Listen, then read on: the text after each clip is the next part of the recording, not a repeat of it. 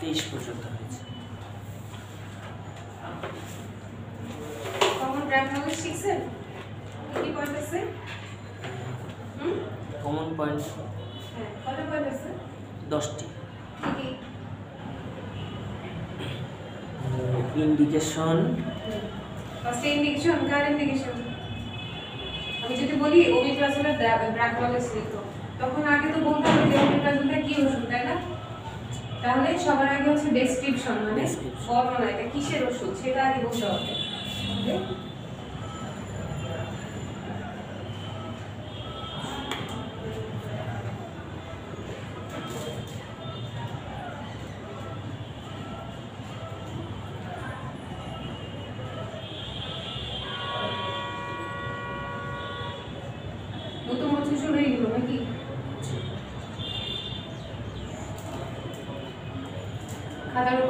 নাম লিখে তারিখ দেন ড্রাগ নলেজ সম্পর্কে তাহলে সবার প্রথমে বলতে হবে যে এটা কিসের ওষুধ, তাই না?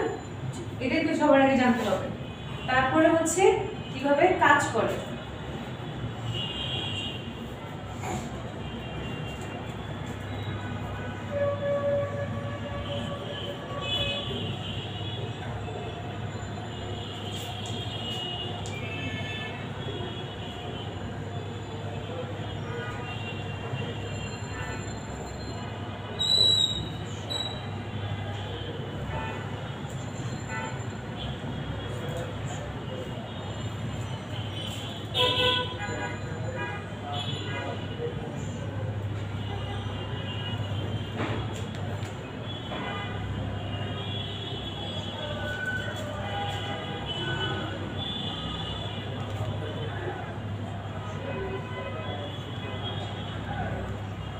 কাজ করে তাই না?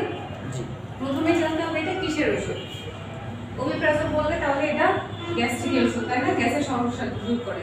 তারপরে আছে হচ্ছে যদি বলি কি বলব? প্যারাসিটামল তাহলে এটা কিসের ওষুধ? জ্বরে হ্যাঁ তাহলে সবার আগে জানতে হবে এটা কিসের ওষুধ? তারপরে জানতে হবে হচ্ছে কীভাবে এটা কাজ করতেছে। এটা হলো দুই নম্বর পয়েন্ট তাই না? তারপরে কি? টোটাল তো দশটা পয়েন্ট এরপরে কি আছে?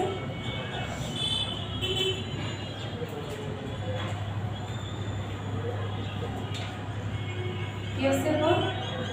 এরপরে আসতেছে হচ্ছে আপনি তখন যেটা বলছেন ইন্ডিকেশন ইন্ডিকেশন মানে হচ্ছে এই ওষুধটা কাকে দিব? ঠিক আছে? প্যারাসিটামল কাকে দিব? যার পেট খারাপ হচ্ছে তাকে? না। তাহলে? যার জ্বর হয়েছে। যার জ্বর আসছে তাকে, তাই না? তাহলে এটা শিখতে হবে। এরপরে আসি হচ্ছে ইন্ডিকেশন শেষ। এরপরে আসছে কি? কন্ট্রা। কন্ট্রার পর আবার দেখেন এদিকে দেখেন, আবার ইন্ডিকেশন তাহলে ইন্ডিকেশন মানে কি ছিল? কাকে দিব। আর কন্ট্রা ইন্ডিকেশন মানে হচ্ছে কাকে দিব না। ঠিক আছে? এখন আমাকে একটা কথা বলেন তো। যে মানুষটা পাতলা পায়খানা হয়েছে তাকে কি আমরা স্যালাইন দিব নাকি দিব না? দিব। তাহলে এই যে কন্ট্রান্ডিকেশন মানে কাকে দিব না? এখন যদি এখানে বলি যে কষা পায়খানা তাহলে কি স্যালাইনটা দিব নাকি দিব না? দিব না। পাতলা পায়খানা যেহেতু দিচ্ছি পায়খানাটা শক্ত বানানোর জন্য তাহলে কষা পায়খানা কি সেটা দিতে পারব? না। যদিও স্যালাইন আমরা শক্ত বানানোর জন্য দিই না কেন দিই? শরীর থেকে পানি বের হয়ে যায় পানির ঘাটতিটা পূরণ করার জন্য দিই তাই না। ইলেকট্রোলাইটস বের হয়ে যায় সেই জন্য দিই। কিন্তু জাস্ট কথার কথা বললাম যেটা পাতলা পায়খানার জন্য দিচ্ছি সেটা কিন্তু কষা পায়খানার জন্য দিতে পারব না। এটা গেল তাহলে ইন্ডিকেশন মানে কাকে দিব? কন্ট্রা ইন্ডিকেশন মানে হচ্ছে কাকে দিব? এরপরে আসি হচ্ছে ডোজেস ফর্ম ফর্ম মানে কি? ফর্ম মানে হচ্ছে ফরম্যাট কোন উপায়ে দিব। সেটা হচ্ছে ট্যাবলেটও হইতে পারে ক্যাপসুলও হইতে পারে সিরাপ হইতে পারে ইঞ্জেকশন হইতে পারে সাপোজিটরিও হইতে পারে তাই না? তাহলে কোন ফর্মে দিব সেটাই জিজ্ঞেস করছে ট্যাবলেট নাকি সিরাপ নাকি ক্যাপসুল?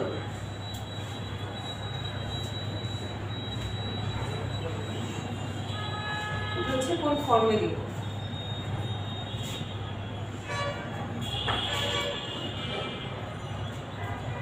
সেলুলার ফর্ম এরপরে আসি।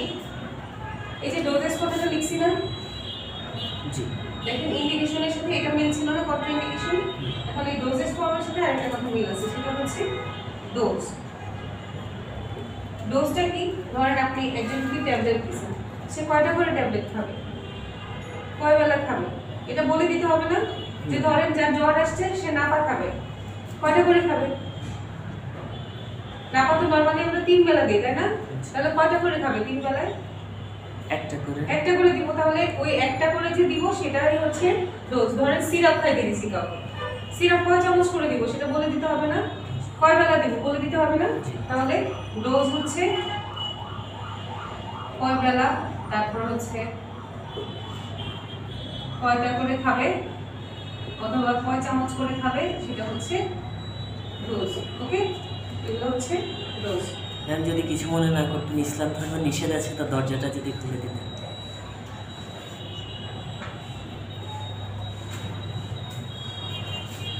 তারপর হচ্ছে কি? পর? আর কি আছে? ডোজ ড্রাগ ইন্টারেকশন আচ্ছা আমরা তাহলে ফার্স্টে কি করছি? একদম মানে একটা এটা কিন্তু কমন মানে আমরা কোনো ওষুধের নাম ধরে কিন্তু পড়তেছি না। এরপরে আবার ওষুধের নাম ধরে পড়তে হবে। কিন্তু এখন এই কোশ্চেনটা কিন্তু একটু আগে আপনার টিচার আপনাকে পড়াই পড়াইতেছে তারপরে আমি আরেকবার বলতেছি কারণ এই কোশ্চেনটা দিয়ে সেম আরও তিনটা কোশ্চেন আছে। সবার প্রথমে কি? যে কিসের ওষুধ এটা তাই না? এটা জানতে হবে। এরপরে কি আছে? মোড অফ অ্যাকশন কীভাবে? কাজ করে। কাজ করতেছে। জাস্ট একটা লাইনে আমরা এটা লিখব কীভাবে কাজ করে। ছোট করে লিখব। তারপরে আছে হচ্ছে ইন্ডিকেশন তার সাথে ম্যাচিং করে আছে কন্ট্রা ইন্ডিকেশন মানে জাস্ট এটার বিপরীত। কাকে দিব না দিব আর এটা হচ্ছে তাকে দিব দিব। এরপরে আছে doses form tablet syrup capsule injection suppository আরও আছে সাসপেনশন আছে। সিরাপ আর সাসপেনশনের মধ্যে পার্থক্য কি বলতে পারেন? সিরাপ আর সাসপেনশন মনে করেন এটা একটা ওষুধের বোতল ওকে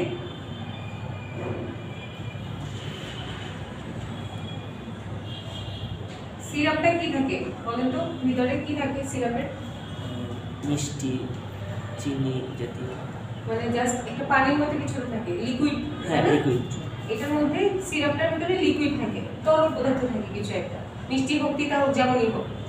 আর এটার মধ্যে কি থাকে? পাউডার গুঁড়া। ঠিক আছে? তাহলে এটা খাব কীভাবে? পানিতে মিশিয়ে।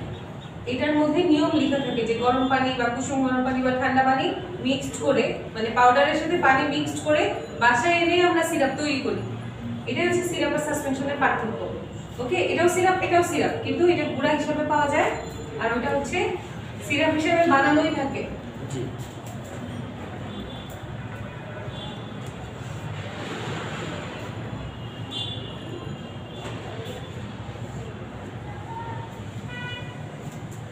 গেল এরপর হচ্ছে ডোজ কি বললাম কয় চামচ করে খাবে কয় বেলা করে খাবে শুধু রাতে খাবে নাকি শুধু সকালে খাবে সব এটা হচ্ছে এটা মানে হচ্ছে ডোজ এরপর আসি সাত নাম্বার পয়েন্টে কি বলছি সাত নাম্বারে? আচ্ছা দিলাম তো ডোজেস ফর্ম ডোজ দিলাম। এবার আসি সাইড ইফেক্ট সাইড ইফেক্ট মানে কি বলেন তো? পার্শ্ব প্রতিক্রিয়া। ভেরি গুড তাহলে পার্শ্ব পার্শ্ব প্রতিক্রিয়া। পার্শ্ব প্রতিক্রিয়াটা কি? ওষুধ খেলে শরীরে কি কি চেঞ্জ আসতে পারে যেটা কিনা শরীরের সাথে মানানসই না। হ্যাঁ দুইটা জিনিস হতে পারে। একটা হচ্ছে ধরেন এই যে এই পার্শ্ব প্রতিক্রিয়াটা কীভাবে হয়েছে? একটা মানুষকে আমি নাপা খাইতে বলছিলাম তিন বেলা একটা একটা করে। সে কি করছে? ভুল করে বা ভুল করে না ইচ্ছা করে তার জ্বর এত বেশি সে ভাবছে আমি মনে হয় বেশি খেলে তাড়াতাড়ি জ্বর চলে যাবে। সে কি করছে? সকালে তিনটা খেয়েছে দুপুরে তিনটা রাতে তিনটা। তার কি কোনো সাইড এফেক্ট হবে না? হবে। অবশ্যই হবে। এটা গেলে একটা। আরেকটা কি? আরেকটা হচ্ছে এই যে সাইড এফেক্ট আমরা সবসময় বলি ক্যালসিয়াম আয়রন এইসব ট্যাবলেট যখনই খাবে তখনই তার কি হবে? রোগীকে বলে দিই যে এই ট্যাবলেট খাওয়া শুরু করলে আপনার পায়খানা কষা হবে। ঠিক আছে? তাহলে এটা একটা পার্শ্ব প্রতিক্রিয়া না? যে একটা ওষুধ আমি ভালোর জন্য খাচ্ছি এটা ক্যালসিয়াম ট্যাবলেট খাচ্ছি আমার ভালোর জন্য। সেটা থেকে আমার পায়খানাটা কষা হয়ে যাচ্ছে তাহলে এটা একটা সাইড এফেক্ট না? জেনে শুনে কিন্তু সাইড এফেক্ট হচ্ছে। তাহলে এগুলো হচ্ছে আমাদের সাইড এফেক্টের মধ্যে পড়বে। যে একটা ওষুধ খাইলে সেটাতে শরীরে আরেকটা কি ক্ষতি হইতে পারে? এটা গেল যেমন আমাদের ধরেন ঠান্ডার ওষুধ বা অ্যালার্জির ওষুধ খেলে কি হয়? এটা ঝিমানি ঝিমানি ভাব আসে না।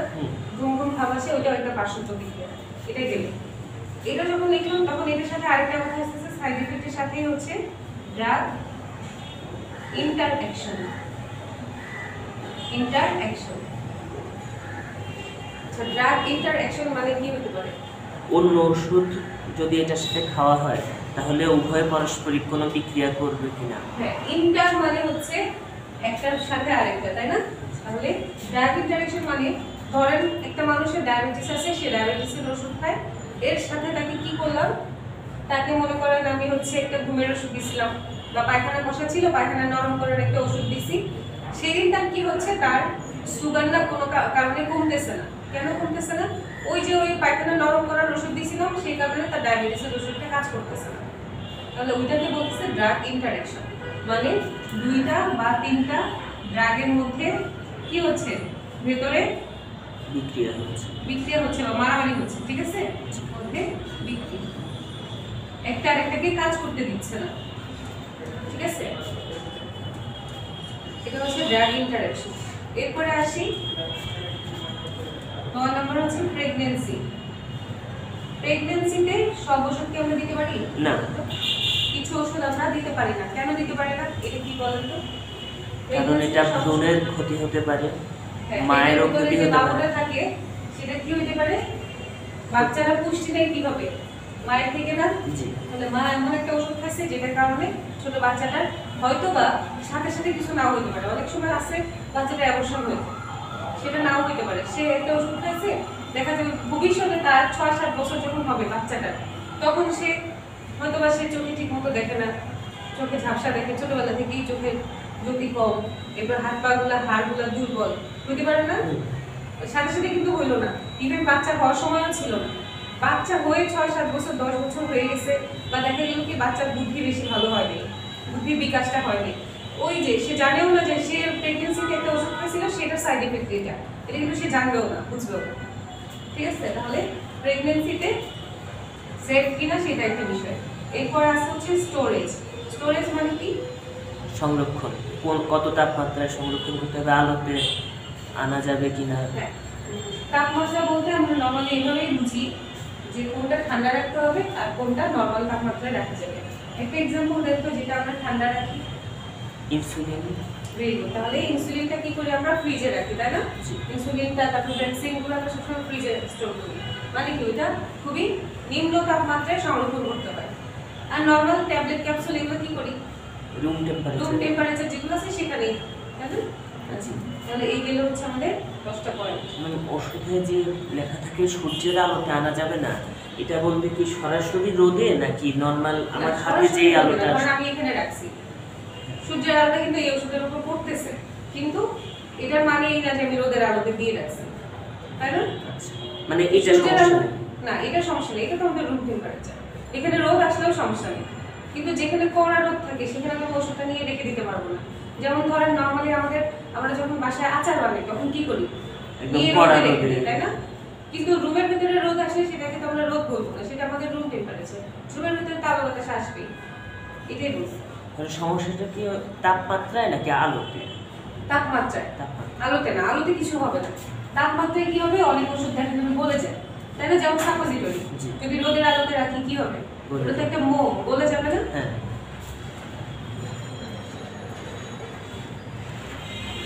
তাহলে পরীক্ষার সময় আসলে আমরা কি করব? এই যে এত কিছু কিন্তু আমাদের লেখার দরকার নেই তাই না? যদি বলে ড্রাগ নলেজে কি থাকে? কমন পয়েন্টগুলো লিখব। তখন কি করব আমরা? কমন পয়েন্টগুলো লিখতে হবে, আমরা এই দশটা পয়েন্ট লিখে দিব। ঠিক আছে? তখন এটা পাশের এগুলো দরকার নেই। দশটা পয়েন্ট লিখে দিতে হবে। এটা গেল। এবার আসে চব্বিশ নম্বর কোশ্চেন চব্বিশ নম্বর কোশ্চেন কি বলছে? Drag knowledge of omeprazole.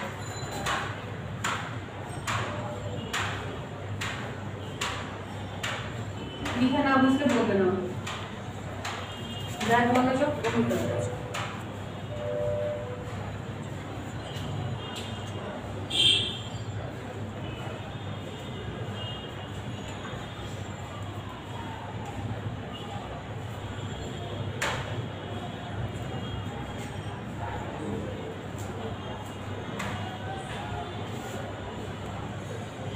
শেষ। প্রশ্ন শেষ। তাহলে পয়েন্ট কিন্তু এগুলো তাই না? তাহলে ওমিপ্রাজলের ড্রাগ নলেজ কি লিখব? এটি একটি কিসের ওষুধ এটা? Omeprazole anti ulcer very good তাহলে এটি একটি অ্যান্টি আলসার ড্রাগ যদি বাংলায় লিখি এটি একটি গ্যাসের ওষুধ বা গ্যাসের সমস্যা ব্যবহার করা হয় সেটাও লিখতে পারব কোনো সমস্যা মানে ওষুধের জাস্ট আমরা পরিচয়টা দিলাম তাই না? এক কথায় আমরা ছোট করে পরিচয় দিলাম। এরপরে আসি মোড অফ অ্যাকশন কীভাবে কাজ করে।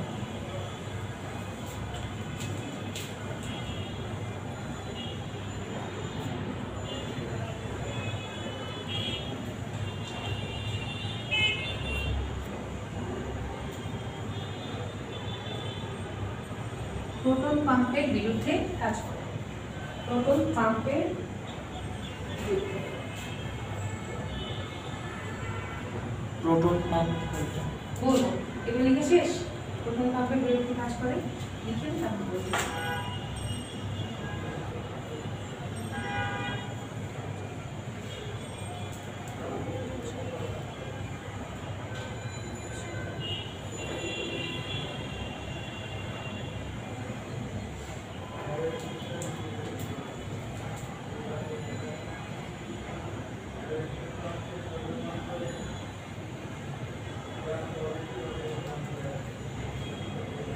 এখানে দেখো। এই যে এইগুলো আছে না এগুলো? এগুলো হচ্ছে একটা একটা করে পাম্প হ্যাঁ?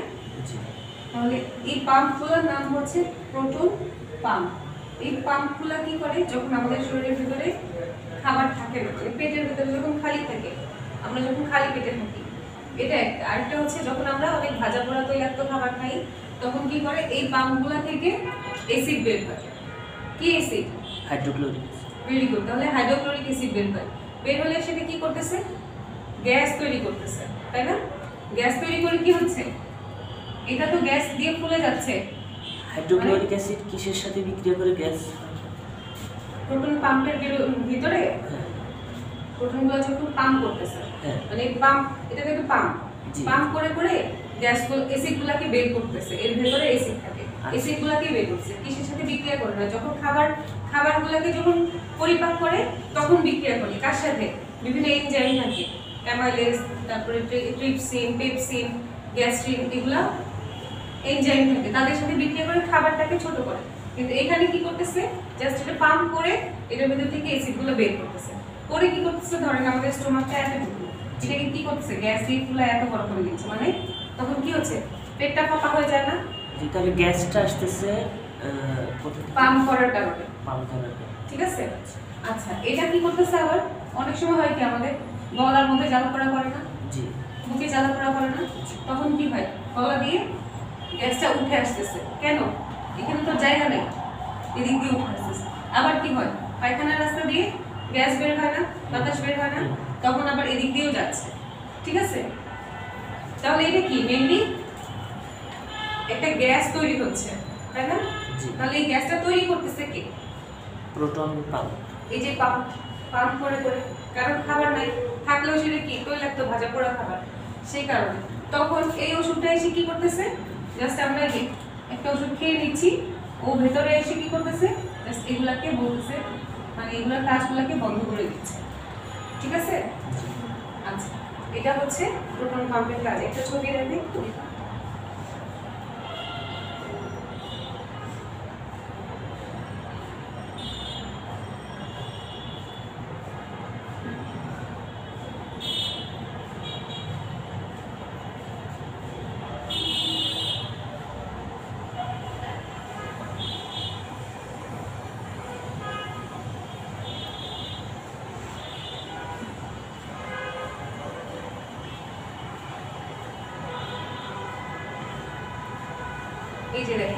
প্রোটন পাম্পের ছবি। লেখাটা দেখেন প্রোটন পাম্প ইনহিবিটর মানে এরাই হচ্ছে ইনহিবিটর।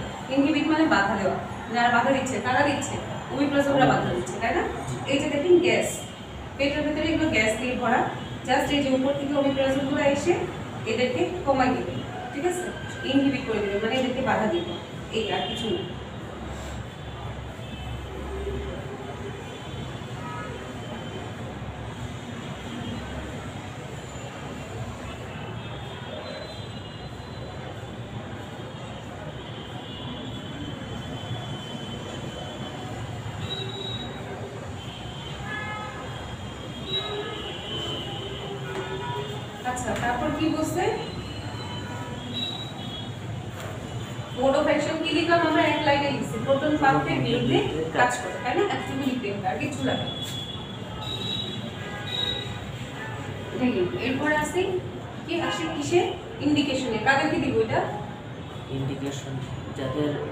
গ্যাস্ট্রিক বা আলসার আছে। গ্যাস্ট্রিক তো সবাই নিচ্ছে গ্যাস্ট্রিক মানে হচ্ছে স্টমাক মানে পাকস্থলী। এটা তাহলে আমাদের সবাইকে দিয়ে তাই না? পেপটিক আলসার গ্যাস্ট্রিক আলসার তাহলে গ্যাস্ট্রিক আলসার তারপর হচ্ছে ডিউডেনাল আলসার ডিউডেনাল আলসার মানে কি? হুম হচ্ছে না নামে যে ঘা।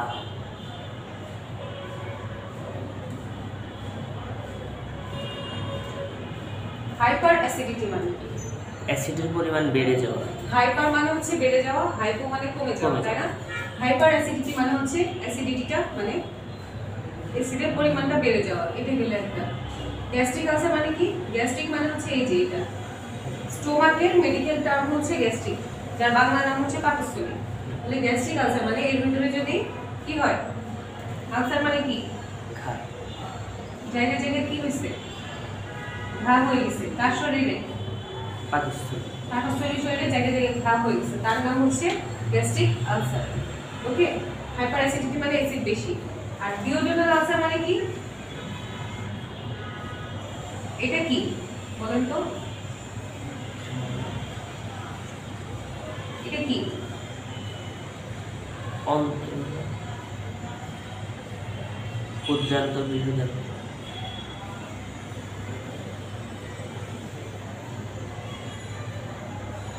এটা সম্ভবত ভিতরেটা ক্ষুদ্রান্ত বাইরেটা বৃহদান্ত। এখান থেকে তো আমাদের গলা দিয়ে খাবারটা নেমে এদিক দিয়ে কি আসে? এটা হচ্ছে খাদ্য নালী মানে এই নল দিয়ে খাবারটা নেমে আসে। এরপরে এটা হচ্ছে আমাদের খাদ্য থলি, এখানে খাবারটা জমা থাকে, তাই না? এরপরে আস্তে আস্তে নাড়িভুড়ি এটার সাথে কার সম্পর্ক? এই নাড়িভুড়ি মানে ছোট অন্ত্র যেটা, ক্ষুদ্র অন্ত্র মানে স্মল ইন্টেস্টাইন এরপরে এখান থেকে কোথায় যায়? এখানে আবার জাস্ট একটা লাইন থাকে মানে এদের লিঙ্ক এখান থেকে এই হয়ে আসে। এই যে নিচে এখানে কি থাকে? এখানে অ্যাপেন্ডিক্স থাকে। ঠিক আছে? এখানে থাকে অ্যাপেন্ডিক্স গেল। তাহলে এটা থেকে আস্তে আস্তে এখানে। এখান থেকে এসে কি করতেছে? খাবারটা এদিক দিয়ে উঠে উঠে, এদিক দিয়ে যে, এখান দিয়ে যে পায়খানার রাস্তা দিয়ে বের হয়ে যাচ্ছে। তাহলে এতগুলো ছবি আঁকার কারণ কি? জাস্ট এখান থেকে এটার যে একটা লিঙ্ক এটা দেখানোর জন্য। এই ক্ষুদ্র অন্তরটার তিনটা পার্ট আছে। ডিউডানাম জেজুনাম আর আলিয়াম তাহলে ডিউডানামটা কোথায়? জাস্ট স্টোমাকটা শেষ হওয়ার পরের অংশই হচ্ছে কি? ডিওডান্ত এই যে এখানে হচ্ছে ডিউডেনাম ঠিক আছে? ডিউডেনাল আলসার মানে কি? এই আলসারটা কোথায় হচ্ছে ডিউডেনামের শরীর।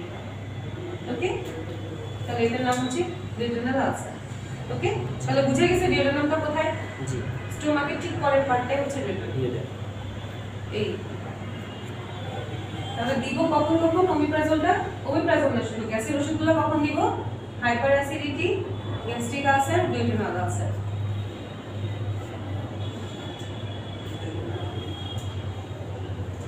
hyper acidity gastric ulcer